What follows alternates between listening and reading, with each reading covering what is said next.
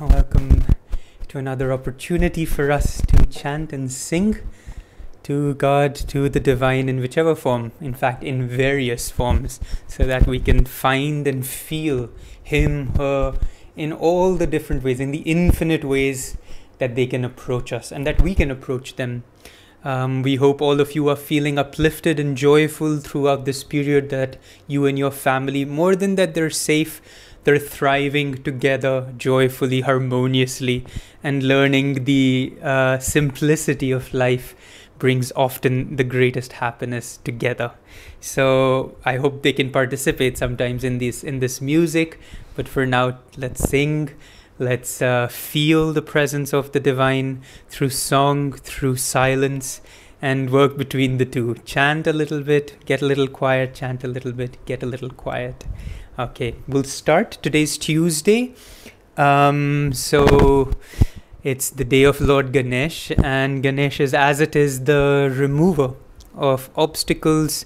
He's the first chakra, so he's the energy we want to uh, appropriate when we start something. And so, as we start today, as we start this kirtan, as we're starting anything, let's think about that power that will already remove those obstacles. He represents the elephant, which is this huge force, you know, through the jungle. It'll just walk through anything, destroying all trees. Nothing can stop it, and nothing can stop us.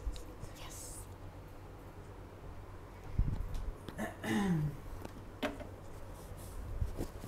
And you put it a little bit here so when I move my arm, it doesn't come to my voice. Here. There? Yeah. Okay.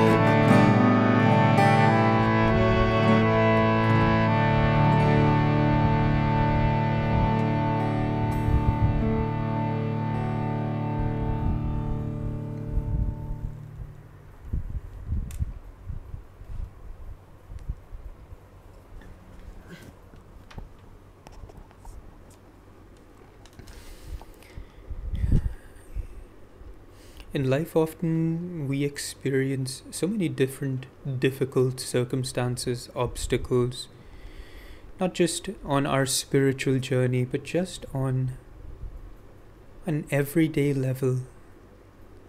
And these obstacles usually are just within us our attitude, our reactions, how easily we get upset, how easily we get attached, how uncomfortable we get when things don't go our way. And this is what we're invoking Ganesha's presence for. But sometimes, while we're too focused on the obstacles, because there are so many, we forget where it is that we're trying to go in the first place. And this next chant with these simple words is to help set the true direction of our lives. And the words of this chant by Swami Kriyananda is I want only thee, thee only thee.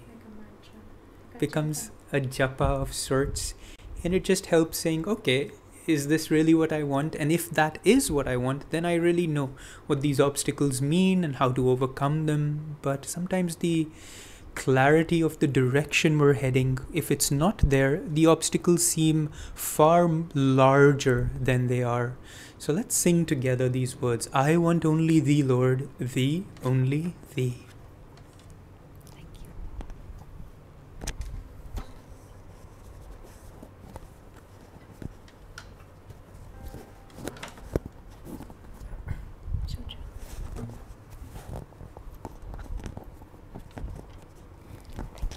a group project putting on the mic.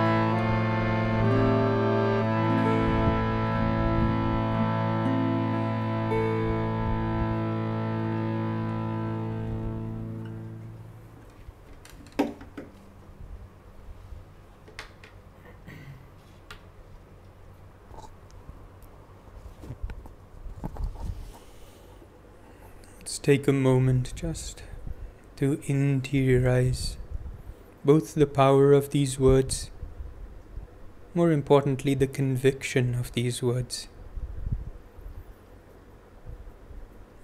Aligning all cells, molecules of our being to serve and fulfill this purpose.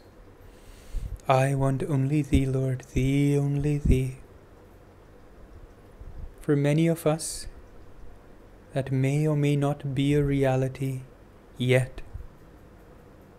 But one way or the other, all of us are seeking for that highest experience, whatever that may mean for you joy, happiness, fulfillment, security, love, God. But place that highest state of yearning that you have within you. Place it at the point between the eyebrows and for a moment or two in stillness, redefine your relationship and your journey towards that purpose. Setting the goal before you, gather the forces of yourself, of your thoughts, your attitudes, of your words and actions, and put them all in perfect alignment with your intended goal.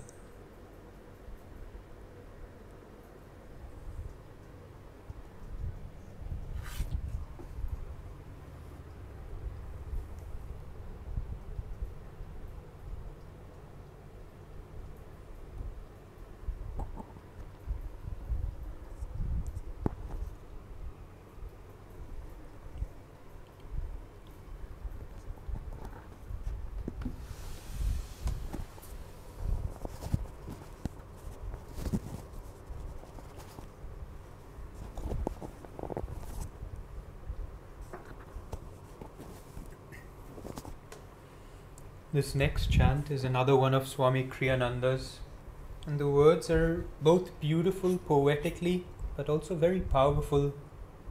Again, if we can visualize it as we chant, and the words are Nothing on earth can hold me. Rise, O my soul, in freedom. Rise, O my soul, in freedom, nothing to fear any more. Rise, O my soul, in freedom, nothing to fear anymore. Now that we know the goal fearlessly, with everything that we have at our disposal, let us move towards it joyfully, and nothing on earth can hold you back.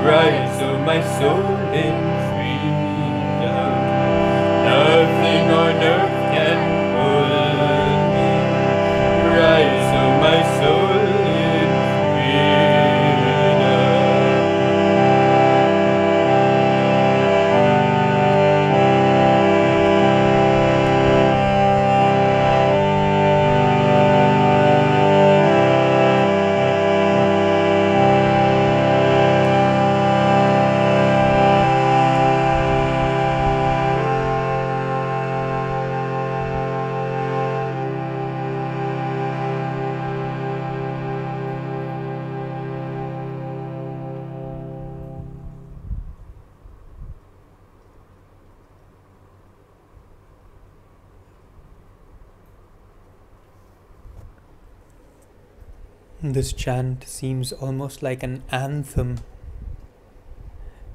Whenever I hear it, I feel like marching towards soul freedom immediately. But of course, this march is not so much an outward march. As we march up the spine to the point between the eyebrows, with nothing that can hold us back, no obstacles that can stop us with our goal as clear as day. Once again, inwardly, with your gaze uplifted, march your soul towards freedom, towards bliss, towards infinity.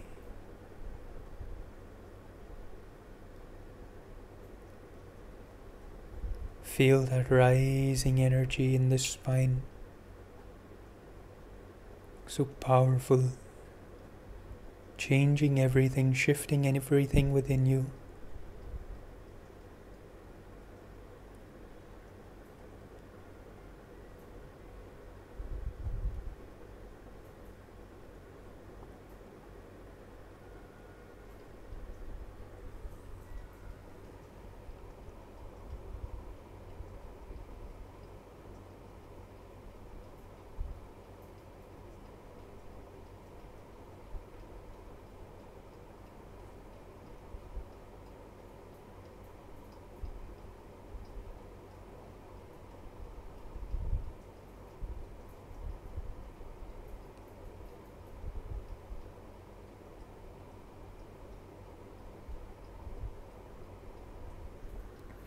Our final chant for the evening is dedicated to Lord Rama, who represents that soul victory over darkness. And so, as we sing to him, Sri Ram Jai Ram, feel as if you are singing to your soul who has arrived at soul freedom, has got to the point between the eyebrows and is finally seated on the throne of your consciousness, guiding and directing all your activities from here on forth.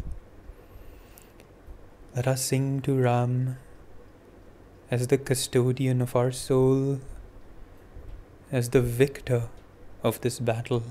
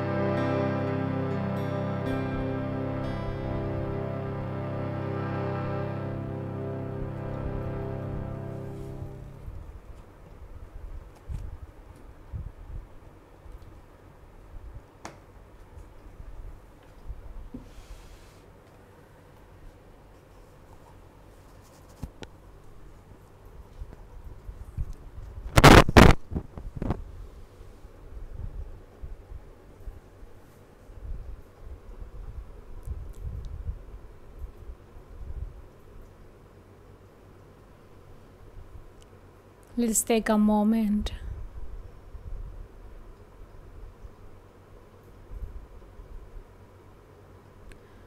to fully integrate and make our own the power that we have received this evening. The power of Lord Ganesh.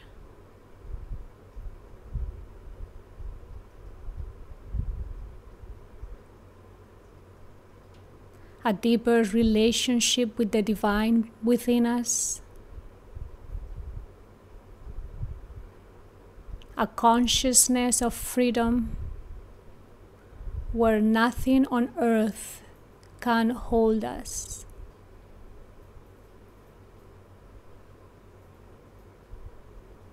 And the presence of Lord Ram at the point between the eyebrows. All these four energies blend together and become one, giving us the strength and the joy to manifest them throughout the day in our interactions with our friends and families, and above all, with the world through our prayers.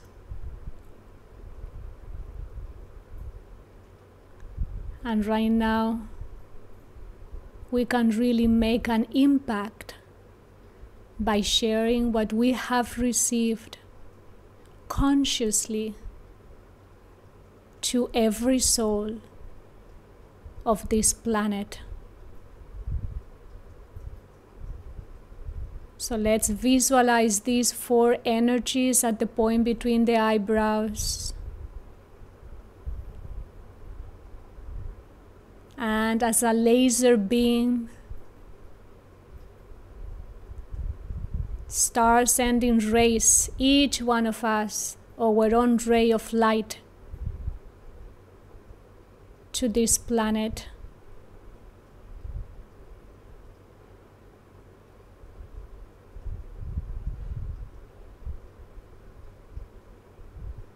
And visualize the planet Earth becoming a ball of light, emanating light.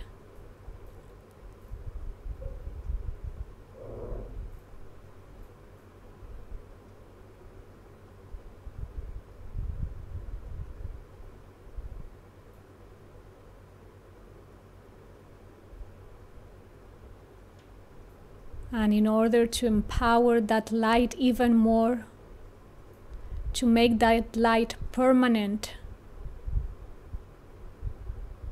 we all together as a group of warriors of light, we are going to rub our hands together, magnetizing the power and the light in our palms. Let's feel that heat that spark that comes from rubbing our hands strongly, dynamically, energetically.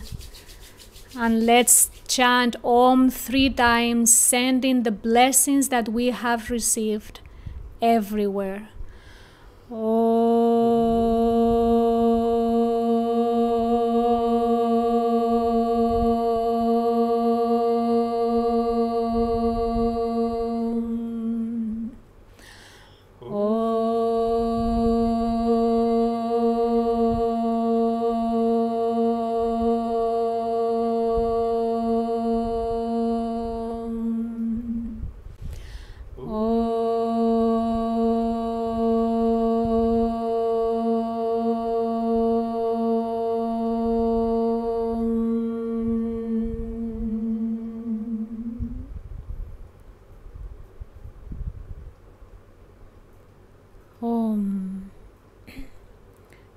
Shanti Shanti Amen.